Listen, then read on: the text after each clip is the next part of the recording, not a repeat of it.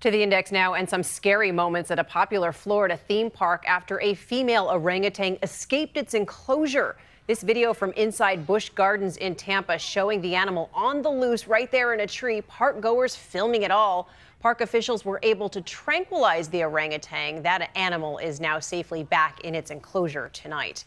And the hole in the ozone layer is getting smaller for the first time in nearly 30 years. It has shrunk by more than one and a half million square miles. That's about half the size of the United States, thanks to a reduction in products like aerosol cans. The ozone shields the Earth from harmful ultraviolet rays. Scientists say that hole could close completely in coming decades. And a teen pilot walked away just fine after a crash landing onto a golf course in Georgia.